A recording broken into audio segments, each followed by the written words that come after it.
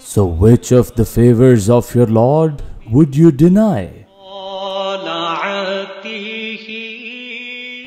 और तुम अपने रब की कौन कौन सी नेमतों को झुटलाओगे